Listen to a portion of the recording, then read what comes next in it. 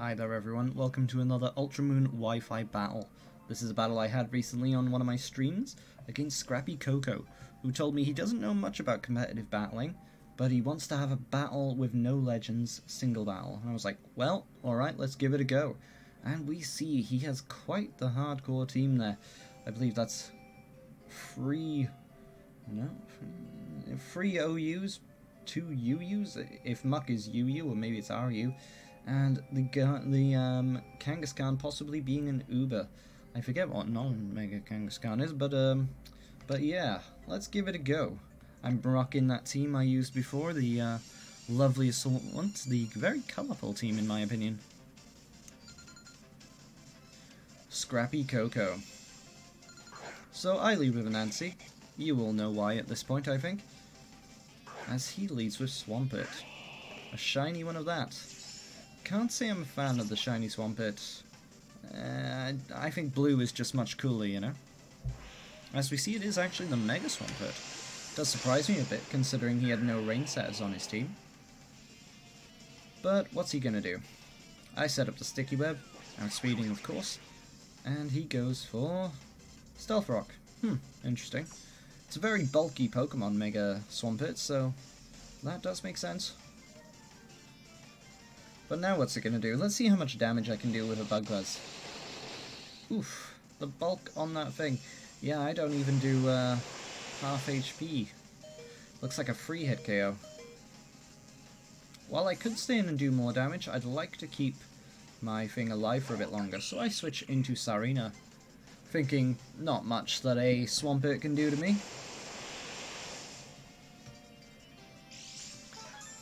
You know, I actually forget Sarina's base speed. Is it 70? And I believe Mega Swampert's is 70. But we see it outspeeds me. Mind you, I'm not sure if my Sarina is max speed or not. Very unfortunate, one hit KOs me with an Ice Punch, which means those rocks are on the field to stay. So, may as well switch in Amaterasu now, considering it's gonna take that damage at some point. And I know I probably outspeed a base 70 mon, despite me not being max speed investment. And we're able to hit straight away with a Giga Drain and restore all our HP. Well, nearly all. He now switches into his Alolan Muk. And now they are specially defensive, but there ain't real there ain't really any much point in me switching out a Amaterasu here. So I'll just go for the Quiver Dance, and we'll see how much we can do with our strong moves. We see a Stone Edge come out. I was expecting a knockoff, so that's a surprise, but still, there isn't much point in me switching, considering the Stealth Rocks are up and here to stay. So I'll go for my strong, strong move, but with that special defense, it simply does not do much. And he is able to connect Stone Edge that time and take me out. Unfortunate, but now I switch into Mamoswine. I'll be able to hit that thing hard with Stab Earthquake. But he actually predicts that and switches out into his dragon. A very good idea. This guy, this guy definitely knows his stuff when it comes to battling.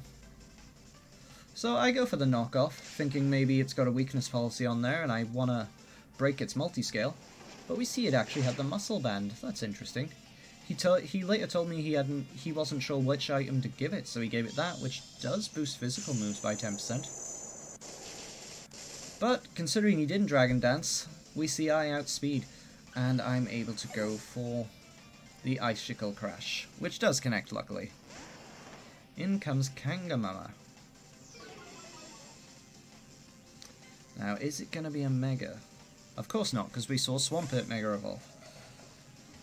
I want to keep my Mamoswine around, so I'll switch into a Nancy, who will go down and waste this thing's fake out. And that's exactly what we saw happen. So I bring back in Mamoswine here. Knowing that he can't fake out me and I should be able to do decent damage with Earthquake. But, unfortunately we see that Sucker Punch, and it does take me out. Silly me, I should have remembered that, but then I probably wouldn't have thought it would have taken me out. So I go into Togekiss here. Uh, this battle ain't looking good. Most of my mon are dead. And uh, this is my Cleric Togekiss. We see the Z move come out from the Kangaskhan. I guess that's Breakneck Blitz, and I guess that's going to do a hefty amount of damage to me. However, I am fairly defensive, not max defense, but fairly. How much is this going to do?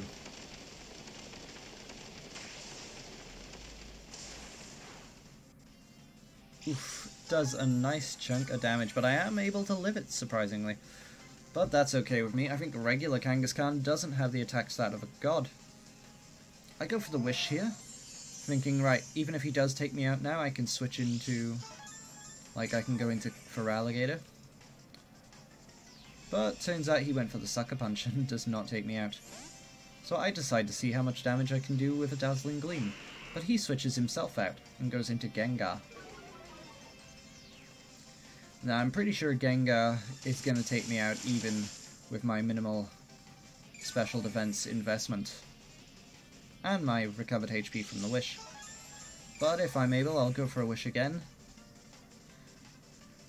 And hopefully, if he does take me out, it can go to Feraligatr. But we see he does just plain out outspeed me here. And that's possible considering my I don't have much investment, and we see it is holding the Life Orb and not the Choice Scarf. It just happened to outspeed me despite being caught in the Sticky Web. Unfortunate, but that's how we go. Argo, my last Pokemon, can he pull it through for us? I know Gengar would do heavy damage with a Life Orb to me, so I'm just going to go for my Earthquake. We do see out I outspeed, but we do get disabled, which is unfortunate considering one of his uh, last Pokemon is Muk, who is weak to ground. However, if I Dragon Dance and go for a Liquidation, I should be able to take it out. But how much damage is he going to be able to do to me in the meantime? So, we now outspeed everything. And he goes for the Poison Jab. Is he going to get that poison as well? Luckily, no. I think that cinched it here for me. I go for the Liquidation, and is it enough to take it out? Yes, it is, thanks to that Sheer Force ability. I'm not actually holding the life orb, I'm holding a Lum Berry. I hate being statisted. As in comes Kangamama. I think a Liquidation will take it out from this range, but will a combination of uh, Fake Out and Sucker Punch take me out? I think I should live a Sucker Punch here, but I'm not the best judge. But he doesn't even go for it. Very fortunate for me. Able to take that out nicely. Considering how much damage Fake Out did, I think I would have been able to survive a Sucker Punch. Now, unless this Volnona is um, Focus Sashed, I should outspeed it, and I should one-hit KO with a Liquidation. Here we go, Liquidation comes out, and it goes down. Good job Feraligatr, pulling this battle back. Despite my opponent saying he's not very uh, experienced in competitive battles, he sure had me on the ropes for a while there. Thanks for watching, I hope you enjoyed.